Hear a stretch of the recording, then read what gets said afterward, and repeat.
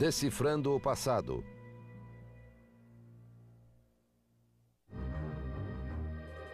A sociedade secreta mais antiga da história.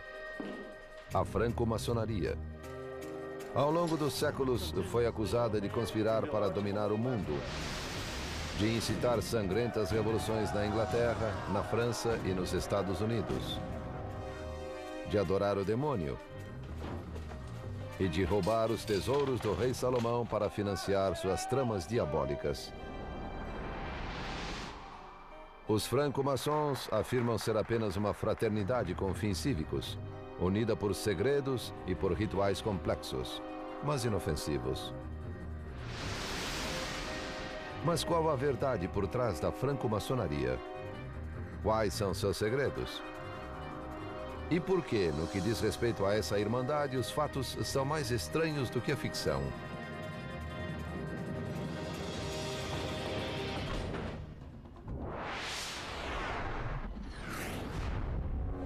Os mistérios da maçonaria, as origens. Por trás de toda porta fechada há um mistério. Para os franco-maçons, a história começa num templo sagrado mil anos antes de Cristo, com Hiram Abif, um personagem fundamental para a franco-maçonaria conhecido como o Filho da Viúva. There is no one version of the Hiram Abiff legend, just as there is no one version of, of, of any legend. According to the Freemasons, the Witta son of Hiram Abiff is the master builder of King Solomon's temple. O templo abrigaria as tábuas contendo os Dez Mandamentos e seria a morada de Deus. Segundo a lenda maçônica, Salomão, rei de Israel, recebeu o projeto diretamente de Deus. Hiram também conhecia os segredos da planta divina. In the story, Hiram Abiff is accosted by three junior workers who are jealous of the fact that they have not been uh, given all the secrets of masonry, and they try to extort them from Hiram Abiff. Os trabalhadores achavam que uma única palavra secreta lhes daria acesso ao conhecimento de Hiram e a poderes mágicos. Each one of the three assailants of Hiram is constantly asking for the secret word. And Hiram keeps telling them, you know, this is strange. Why are you asking for this? Diariamente ao meio-dia, Hiram deixava a obra para rezar. Os três trabalhadores o esperaram nas três portas do templo. Quando Hiram se aproximou da porta leste, o primeiro homem o parou e exigiu saber o segredo. Hiram respondeu que quando o templo fosse concluído, ele diria a palavra secreta. The word is given in recognition of accomplishment. When a mason has proved himself as an apprentice and as an expert craftsman, he's then recognized by being given the word of a master mason. Frustrado, o homem cortou a garganta de Hiram com uma pedra afiada. Hiram conseguiu escapar, mas ao chegar à porta sul, o segundo homem exigiu saber o segredo. Mais uma vez, Hiram recusou e foi ferido por um esquadro de pedreiro. Ele rastejou para a porta oeste. Ouviu a mesma exigência, mais uma vez recusou e recebeu um golpe mortal. Ao morrer, gritou: Quem ajudará o filho da viúva? Essa frase se tornaria o pedido de ajuda universal entre os membros da maçonaria. Ao se recusar a revelar seu conhecimento secreto a quem não o merecia, Hiram Abif se tornou o maior herói dos maçons. Hiram Abiff represents the free mason. That is, the builder who is free, who has a free mind, uh, you know, and that means freedom of religion, freedom of speech, freedom of movement, you know, all these liberties that we cherish today. So you're a builder and a free one, and you're always, always under attack by three major enemies ignorance, fanaticism, and tyranny.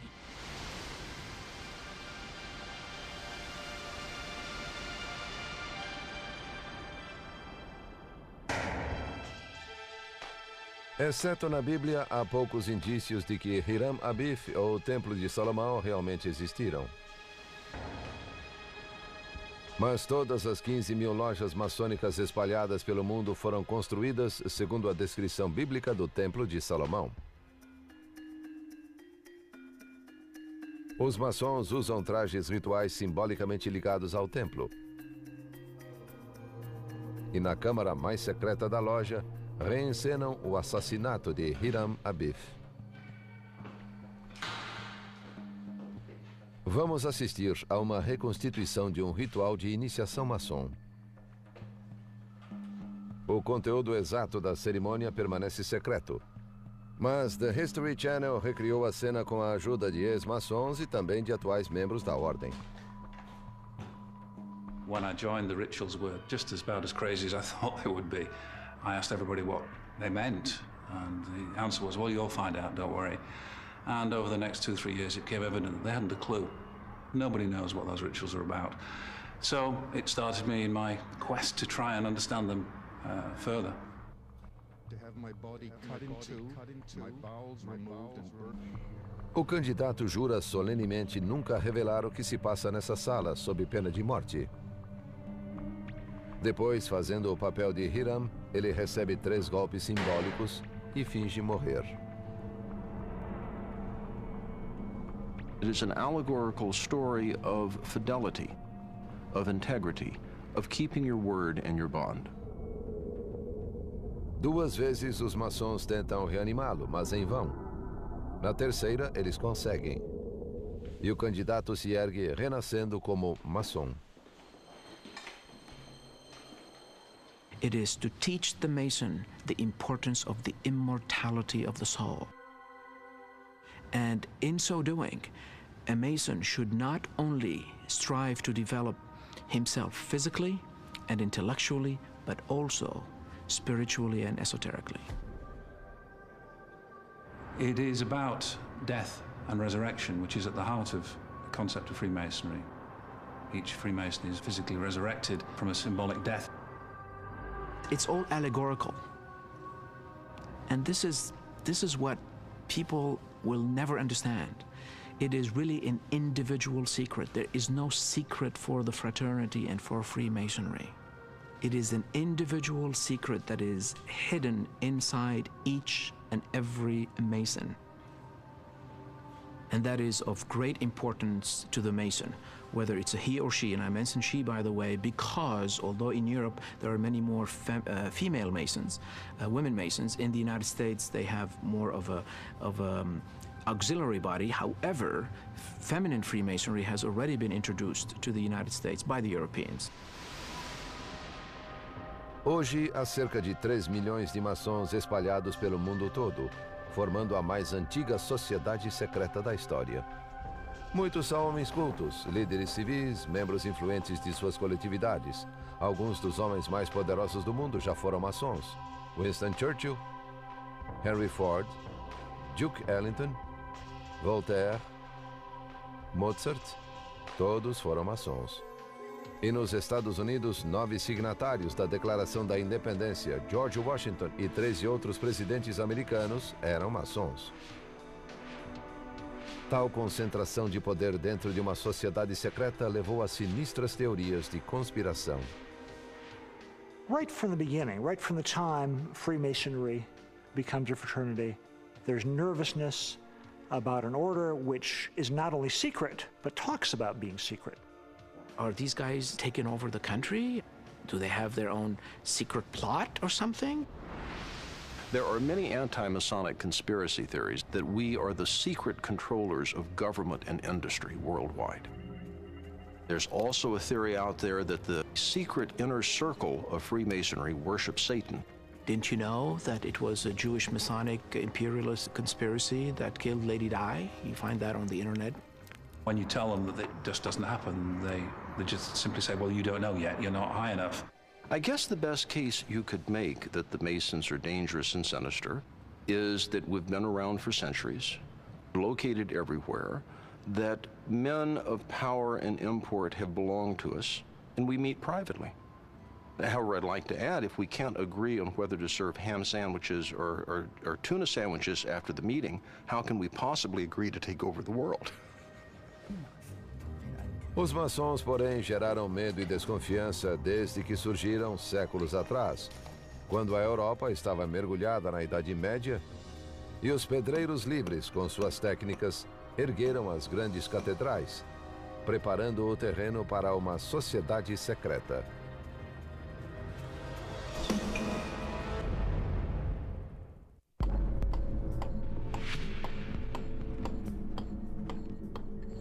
A franco-maçonaria nasceu com os primeiros maçons livres, pedreiros que construíram as grandes catedrais do norte da Europa.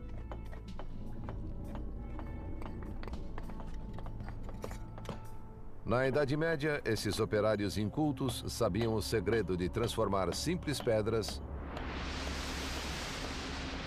em palácios majestosos. I think that building in stone has always been considered to be something akin to God. Major buildings tended to be temples and cathedrals, and the skills and knowledge to build them stemmed from geometry, which itself stemmed from astronomy, and astronomy was the heavens where the stars are, where the gods or God is, and there was this thread of godliness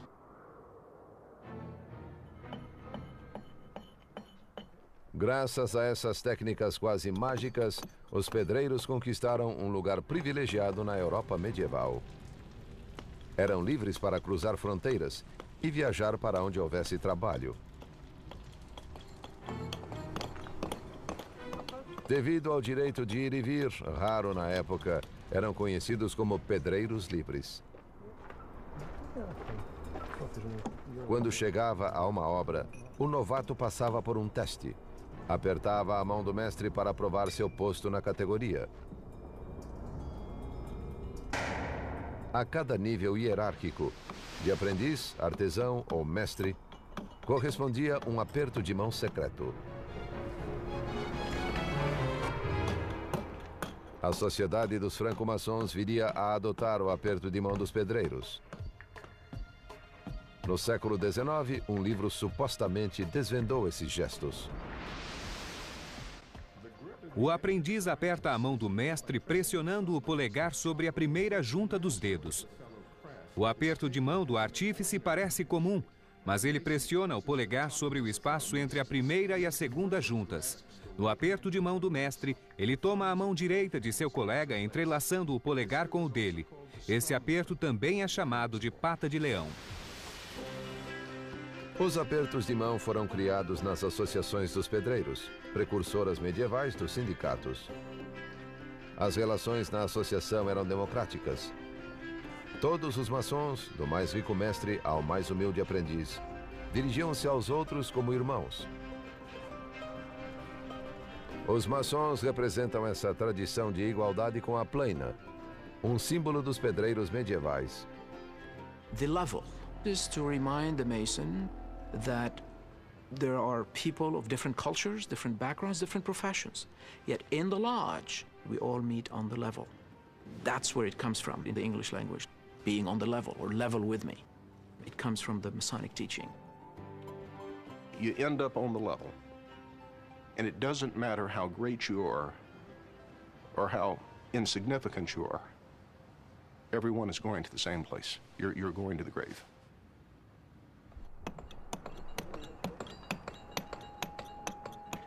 As ferramentas simples dos pedreiros medievais davam-lhes um poder além da compreensão deles.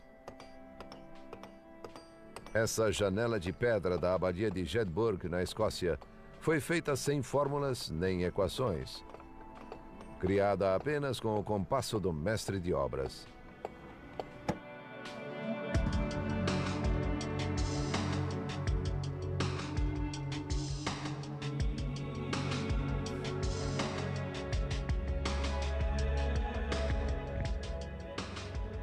Pedreiros medievais preferiam certas medidas, como a proporção que hoje chamamos de 1,414 para 1. Essa é a relação da extensão da abadia com a extensão de sua nave central. A proporção não era só agradável ao olhar. Era considerada sagrada e criava uma conexão mística com o poder divino. A geometria não era apenas um ramo da matemática, e sim uma via de acesso ao plano superior. Hoje, essa combinação de matemática e misticismo se perpetua na franco-maçonaria. I think at the heart of Freemasonry is this unstable mixture of, of two different views of the world. On one hand, you have the view that the world is complicated, it's mysterious, that people in the past knew things that we didn't know today. On the other hand, you have another view of the world that it's simple, that it's based upon rules, and it's essentially mathematical. And what Freemasonry does is it takes these two views, which have now in our culture become separated, and it keeps them together.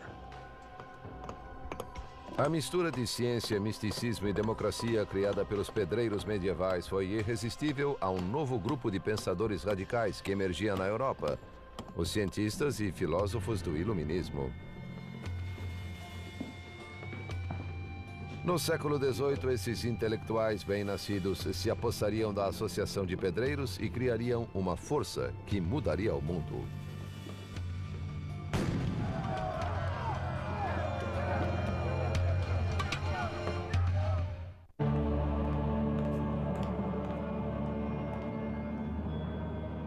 A franco-maçonaria surgiu a partir da Associação dos Maçons, ou Pedreiros Medievais, no século XVII. Os detalhes dessa estranha transformação continuam um mistério. We know that in 1599, when we have the oldest extant minutes of a lodge in Scotland, that they are very definitely meeting as a labor union. And we know in 1717, when the four old lodges come together in London, they're now gentlemen's clubs. So during the 1600s, something happened. O que aconteceu foi o surgimento de uma revolução política e filosófica conhecida como Iluminismo. Na Inglaterra, homens como Isaac Newton trocaram os dogmas da igreja pelo raciocínio científico como modo de entender o mundo. Freemasonry is rooted in this period when science is becoming the center of learned culture. The center of science in this period is the Royal Society, and by the early 18th century is being headed by Sir Isaac Newton.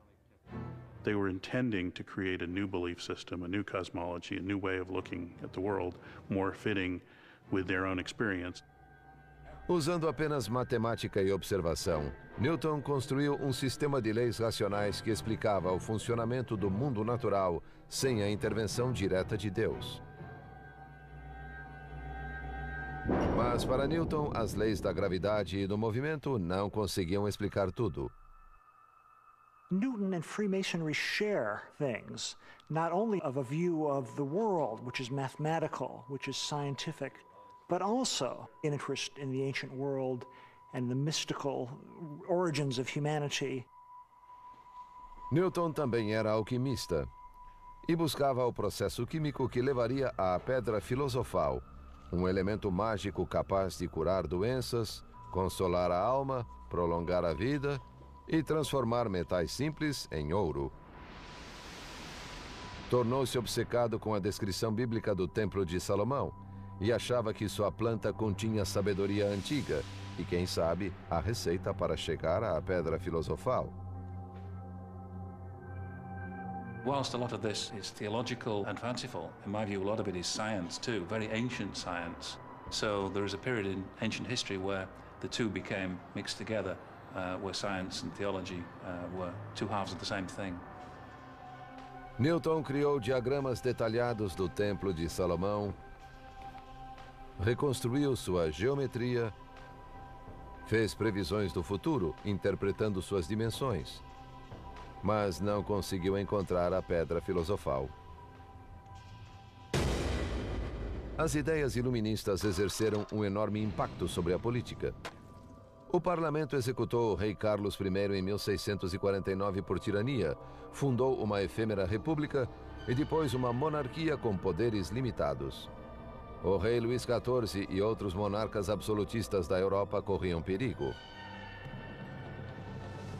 Por toda a Europa, a polícia reprimiu as ideias iluministas e a igreja começou a se preocupar com essa nova e poderosa ameaça. If you were a person of science, if you were a person who favored liberal, humanistic, tolerance, uh, separation of church and state, you ran the risk of being on the other side of a political or religious inquisition. We must remember that in the medieval times, people didn't even own their bodies.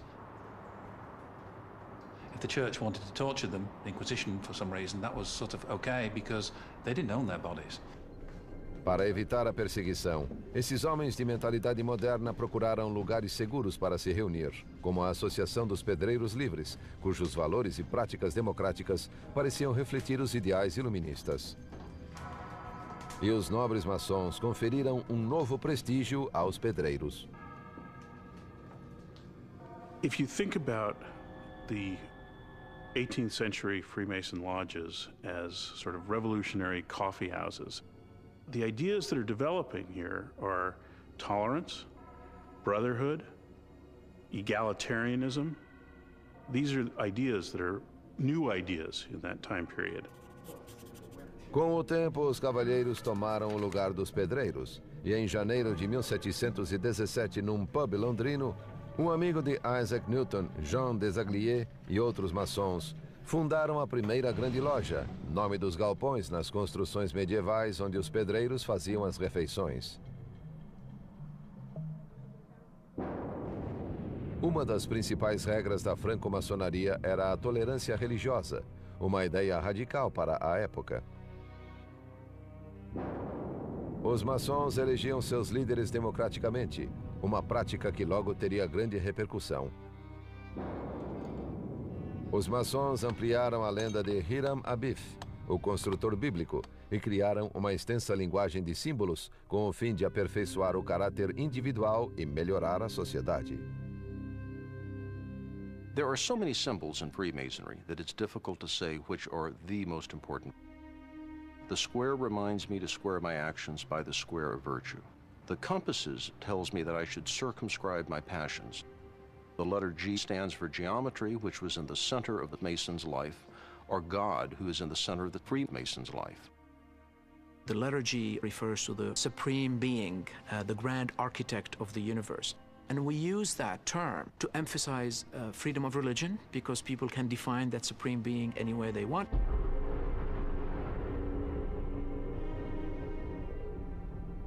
A Igreja Católica condenou a maçonaria desde o início. Em 1738, o Papa Clemente XII emitiu a primeira bula papal, das muitas que se seguiriam atacando os franco-maçons.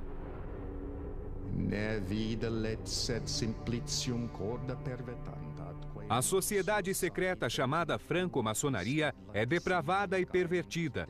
Representa um grande perigo para a alma dos fiéis. Assim, ordenamos que nenhum católico jamais ouse integrar, divulgar ou apoiar a franco-maçonaria sob pena de excomunhão. The church tried everything in its power to halt this force, which we almost can't imagine today the power of that political force. It, it caught like a wildfire because it represented a new way of thinking about the world that was the wave of the future. Logo, as revoluções democráticas varreriam a ordem. E a sociedade secreta dos franco-maçons estaria no centro do movimento. Benjamin Franklin was at the center of the diplomatic movement of the American Revolution. He belongs to a Masonic lodge in France, to the Lodge of the Nine Sisters. In fact, Benjamin Franklin escorts Voltaire, the greatest Enlightenment figure of France. He escorts him into the lodge at a special meeting. So here you have the two of the key figures of the Enlightenment. And where do they meet? In the Masonic Lodge.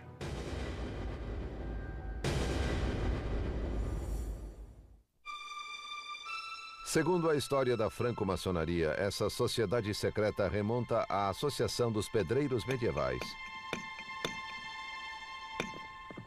Mas as verdadeiras raízes da ordem seriam muito mais remotas e estariam ligadas à lenda dos Cavaleiros Brancos das Cruzadas, os Cavaleiros Templários.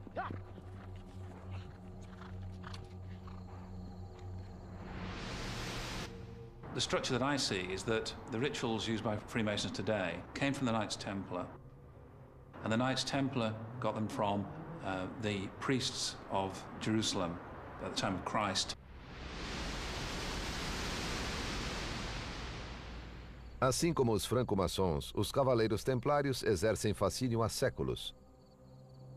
Como soldados especiais do Papa, eles mataram milhares de infiéis, a maioria deles muçulmanos durante as cruzadas, e conquistaram grande riqueza e poder na Europa medieval. Mas no início eram um pequeno grupo de nove franceses que viajaram para a Terra Santa em 1118 para proteger os peregrinos cristãos. Em Jerusalém, abrigaram-se na mesquita de Al-Aqsa, o marco zero para os maçons. A mesquita erguia-se diretamente sobre as ruínas dos templos judeus que a precederam, inclusive, segundo a lenda, sobre o grande ícone da franco-maçonaria, o Templo de Salomão. It was known in medieval times that the Templars housed their horses in underneath the southeastern platform in the area called Solomon's Stables. So the Templars were involved in cleaning out this area, and that was an extensive job. Quanto a isso, os historiadores concordam. Mas desde a Idade Média, lendas sustentam que os templários escolheram esses estábulos para escavar tesouros escondidos. O ouro de Salomão, riquezas saqueadas da Roma Antiga, o Santo Graal e talvez os segredos dos essênios, uma antiga seita judaica, cujos estranhos rituais ensinavam o homem a se comunicar diretamente com Deus, como fizera o rei Salomão. Para o escritor maçom Christopher Knight, os documentos essênios escritos pelos autores dos manuscritos do Mar Morto eram o tesouro que eles procuravam. They lived on charity, they had no income, and they just worked night and day digging they found their documents over those nine years um, and their treasures. And within months, they were fabulously rich. Caçadores de tesouros ou não, os templários voltaram para a Europa em 1127 e receberam o patrocínio da igreja. Logo se tornaram mais numerosos, com 1.200 cavaleiros e mais de 20 mil empregados. Diversificavam seus serviços inventando formas primitivas de operações e títulos bancários. Uma geração depois, eram uma poderosa força internacional. The Knights Templar were really the first multinational banking concern and multinational corporation of sorts. Curiosamente, as regras dos Templários estipulavam que só podiam se encontrar à noite. Perhaps similar to a board meeting today, you know, outsiders were not allowed, so that opened up questions about what was really happening. And within just a handful of years, rumours were spreading that they were conducting strange rituals, which were apparently not Christian. Segundo Christopher Knight, os templários devem ter aprendido esses rituais nos manuscritos que descobriram sob o templo. Esses rituais foram a base para o renascimento de uma antiga religião, que formava um elo secreto entre os templários um elo que logo seria herdado pelos franco-maçons. Os templários deram início a um grande programa de construções, empregando pedreiros livres para erguer a Catedral de Chartres, a Catedral de Notre-Dame e muitas outras em toda a Europa. Templar families had to bring in stonemasons and turn these people into perhaps like something like lower level Templars. They had to give them a ritual, uh, so they were bound to secrecy also. Os rituais dos templários continuariam vivos hoje nos rituais da franco-maçonaria. Mas seu significado se perdeu no tempo. There is one very good reason why Freemasonry created this aura of secrecy. That is because of the rituals they conduct. they don't know why they conduct them. So if you're open with somebody and say, well, yes, I went to this ritual and I had one trouser leg rolled up and I had my, my, my chest out of here and I was blindfolded and a noose around my neck and a knife to my chest and, oh, right, yeah, that's pretty weird. Why did you do that? I don't know. Well, you're going to sound a fool. So you pretend it's secret. O poder dos templários não durou muito na Europa medieval. Em 1307, o rei da França, cobiçando a fortuna dos templários, mandou que fossem esmagados num só dia. It was early in the morning, at dawn, that the frightening knock on the door came. Suddenly, the stampede began.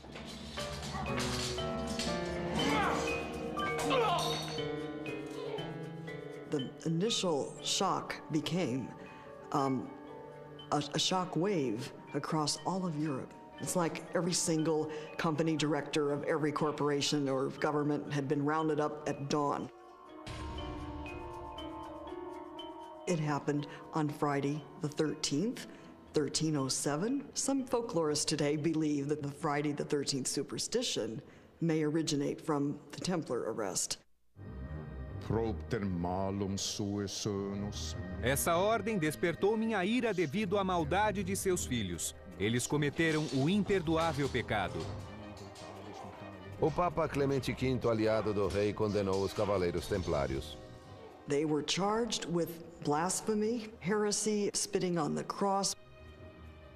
They were accused possibly of worshiping a cat or a severed head and um, something called, allegedly called Baphomet. O significado exato do ídolo Baphomet permanece um mistério.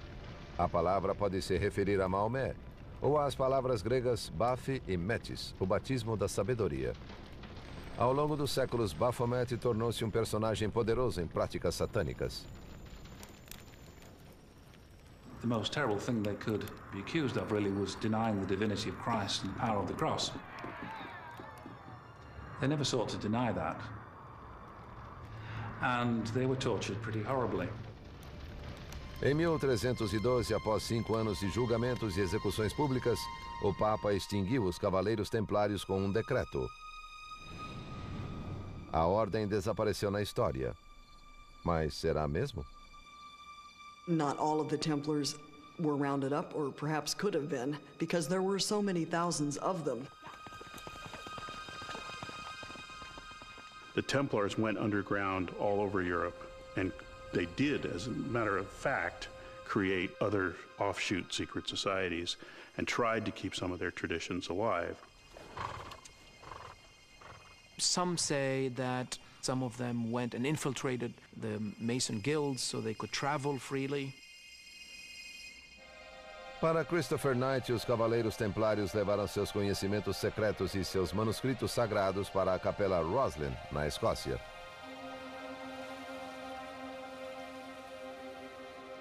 Masonic ritual describes how King Solomon met with his leading priests in a chamber underneath King Solomon's temple. Now, Roslin has exactly that. A Masonic ritual describes exactly that. Can't be coincidence.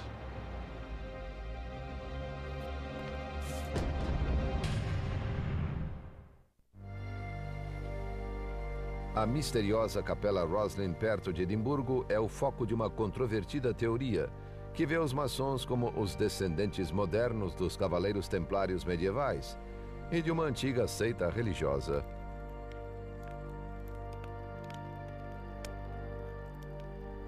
Roslin is hugely important. It's a key to understanding Masonic ritual. The Masonic rituals that we use today, the, the, certainly the important ones, and Roslin Chapel, are two halves of the same thing. One unlocks the other. A capela de Roslin é cheia de complexos entalhes e esculturas. As abundantes imagens às vezes são tão obscuras que ninguém sabe ao certo qual era o propósito da capela. A capela nasceu de um projeto de William St. Clair, nobre do século XV e patrono da Associação Local de Pedreiros. E segundo uma inscrição feita em seu túmulo muito depois de sua morte, um cavaleiro templário, mas essa afirmação nunca foi provada. We have no documentable evidence William St. Clair was ever a Knight Templar. The suppression of the Templar Order was in 1312, but Roslin wasn't started until 1446, well beyond that time frame. Did the Templars build Roslin Chapel? The answer is a definitive no. Mas é verdade que os Templários tinham uma fortaleza perto de Roslin e tentaram sobreviver como uma sociedade secreta. Hoje, milhares viajam para Roslin todos os anos, depois que a capela foi cenário do best-seller O Código da Vinci. E os prestativos funcionários apontam possíveis conexões com os templários. One of the most intriguing ones, perhaps, is just behind me on the window here, the image of the Knight Templar on a horse and behind him a passenger. It's indicative of the Knight Templars in as much as they invariably had somebody on the horse behind them. It was kind of their, like being a Boy Scout really, you always had a buddy to look after. With the spear and the cross on the back, that's very much a Templar image. Segundo Christopher Knight, toda a capela foi uma recriação do Templo de Salomão. Um sinal para os templários oprimidos no mundo todo de que a seita voltaria a se erguer. Ele aponta para uma parede inacabada da capela, que seria uma cópia do Muro das Lamentações em Israel. Para ele, o prédio em si teria como base o que substituiu o Templo de Salomão, o Templo de Herodes. Roslin Chapel is a one-third scale uh, copy of uh, the Herodian Temple. When you marry together the foundations of Roslin and overlay them with the Herodian Temple in Jerusalem, they are the same. They're perfect. It is an exact copy. A ligação da maçonaria com Roslin começou com o Templo de Salomão, palco de uma lenda central para a ordem, a de Hiram Abif, o construtor assassinado por aprendizes invejosos. Em Roslin, um mito correspondente cerca o espetacular e estranho pilar do aprendiz. Um, it's, it's, thought that William Sinclair had been to Rome and seen a pillar which he just thought was so exquisite he wanted to have replicated in his chapel. So he went to his master mason and said, I've seen a pillar and I would like you to build it for me. Master Mason felt it was such a responsibility that he had to go to Rome to see the original before he could build it. And during that time, one of the apprentices had a dream. And in this dream, he was told how to build the pillar, and he also saw himself completing it. And William Sinclair, fearing that his master mason may never return from Rome, authorized the apprentice to do it. And this is what he produced. the master mason did return. And on his arrival, when he saw the beautiful pillar, clearly enraged with envy, he gave him a smash across the forehead with a mallet, killing him instantly. O aprendiz morreu com o mesmo tipo de golpe que matou Hiram Abif. All of the other apprentices then turned on the master mason and killed him on the spot. So the other apprentices decided that this story shouldn't be forgotten. So they carved faces from the story on the interior of the chapel. That's actually the face of the apprentice. You can see that there is actually a big gash on the upper right hand side of his forehead where the fatal mallet struck. Bem em frente está o rosto do mestre de obras desgastado pelo tempo. who, rather ironically, will be forced forever to look diagonally across the chapel at the apprentice pillar. Outros entalhes podem se referir aos franco-maçons. As posturas estranhas das figuras correspondem exatamente à posição em que fica o candidato no ritual maçom de iniciação. E não é só isso. Perhaps the most single important item is a little carving that stands about that high. um, which shows a candidate being initiated, um, one would say, into Freemasonry. Uh, but of course, this is long before Freemasonry. There's a noose around the person's neck, which is part of the requirement for a, the first degree in Freemasonry. And it's been held by someone who appears to be a Templar, with the Templar cross on his chest and the beard. And the points of Convergence between the modern ritual of the first degree and this are so many that statistically it's impossible for it not to be directly connected in some way.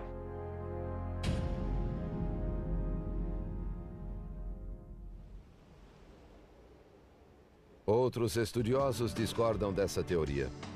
Segundo eles, Roslin é um amálgama de lendas cristãs e celtas, entre outras. William St. Clair tentou preservar uma tradição ameaçada. Sir William foresaw the possible danger that certain belief systems or thoughts or images that had been previously burned in many inquisitional book burnings through the Middle Ages might not get preserved for posterity. So, Roslin is a Bible or a book in stone.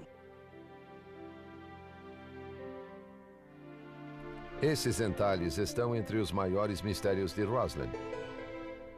São grãos de milho que só existiam no Novo Mundo, mas Colombo só descobriria a América 50 anos depois. Segundo uma lenda antiga, o avô de William St. Clair, Sir Henry, foi um cavaleiro templário que liderou uma expedição até o Novo Mundo e na volta trouxe o milho que seu neto celebrou nos entalhes. We asked a botanist from the university to give us his opinion of this, and when he looked at them, he wasn't convinced until he found one more plant in Roslin Chapel, a small plant, and he said, if you've got that one, then I'm prepared to believe that the other ones are genuine because this plant would only have been found in the New World. A planta era um trevo norte-americano. Indícios da presença dos templários na América do Norte são circunstanciais e, por enquanto, descartadas pelos estudiosos. I personally think that while the evidence is, is very romantic and makes a great tale, that there's nothing there that supports it factually. A wonderful legend and, and a wonderful myth, and I put it in the camp of sort of Greek myths. Great story, great narrative, uh, highly unlikely. Mas os ideais dos templários herdados pelos franco-maçons sobrevivem nos Estados Unidos.